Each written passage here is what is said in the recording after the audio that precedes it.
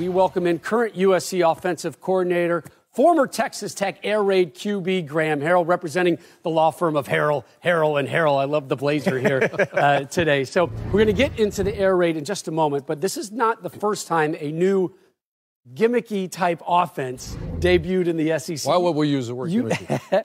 you brought the spread to Gainesville. Yeah, in 2005, we just finished an undefeated season with uh, Alex Smith at Utah. Brought the spread to the SEC. Everyone was running the pro style offense back in 05.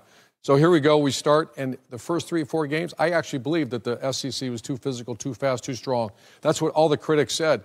We were terrible to start well, we got on a roll, and the spread started to get going. So, what are the principles of the spread? Well, there's three offenses basically in college football. One's the pro or West Coast. Number two is the spread. About 95% of college football uses some sort of spread. And then there's the air raid. These are the principles of the spread. Number one is equate numbers. We talked about this before. Don't run the ball in unblocked defenders. Number two, at the end of the game, you want to run for 250, pass for 250, a balanced offense. And number three, a lot of pressure on the quarterback and offense coordinator, a play caller to get us in the perfect play. What's that mean? Don't run into loaded boxes and don't throw the ball versus un- bad leverage. A lot different than the air raid. Much different. The air raid, we like to consider it a very simple scheme.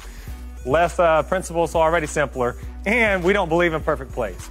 Uh, because we think we have to execute what we do against any defense that's out there. And that's one of the main principles of what we do is execute and, and get a ton of reps what we do. And so the air raid has become a philosophy of, hey, define who you are, get a ton of reps at them, and then go execute against anything there is. In order to do that, You've got to practice different. I've had many conversations with my dear friend Mike Leach over the years, and I mean, sometimes a little heated about leverage, about why you're doing this, why you're doing that.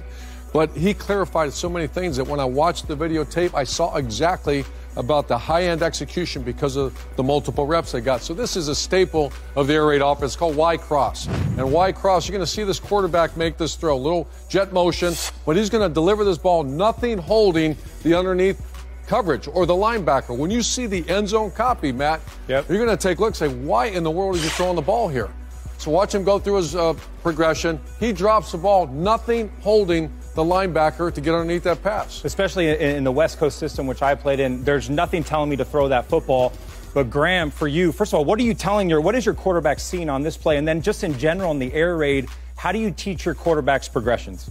You know, we're a little bit different. And a lot of people are saying, well, based on this coverage, based on that coverage, in Mike Leach's mind, coverages don't exist. And, and I believe in coverages a little bit more than he does.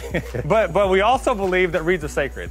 Let's get a little closer to the end zone. And, and this is a late fourth quarter drive, a money drive, a must touchdown situation for Washington State at Oregon. I watched this play at least 50 times, and I know this is the call of the game to take the lead at Oregon. You're going to see the number three receiver and the quarterback. When you talk about high repetition, high execution, to me, there's not many people in America can make that throw and catch. Yeah, this is a heck of a throwing catch. and as we talked about, in, in a drawback concept, the read, the quarterback has progression he must go through. In a quick game concept, all he's worried about is attacking grass. That's how Coach Leach talks about it. To attack grass uh, in a more layman's term, find space and throw it to the space. And if you look down here, there's two receivers here. You say, is there a lot of space down here? No, there's not much space down here. Up top, those two receivers, there's two defenders on top of them. And if you're just looking for space or you're looking for grass to throw the football to, there's not a ton of it over there either. This right here is a giant patch of grass. This right here, a lot of space, at least in the air raid terms. This receiver knows if I want to get the ball, if we're going to be successful, I have to get to all that grass. The quarterback also knows the best place to throw it is to all that grass. The receiver gets to the grass, the quarterback throws it to the grass, and it's just a, it, it's a it's a play that we better be able to complete 90% of the time, but we're not going to be very good. So the spread worked in the SEC. Will the air raid work? Well, you need a definition of work. They're going to open up with LSU. These are the best defenses Mike Leach offenses have ever faced, Big 12 and Pac 12, respectively. So, will that work? Give me the definition of work. Will they throw for yards? He's always going to throw for yards. However, he's at a tough job. Mississippi State, even under Dan Mullen, had great success. They never won the division, never won the west side of the SEC, toughest conference in football.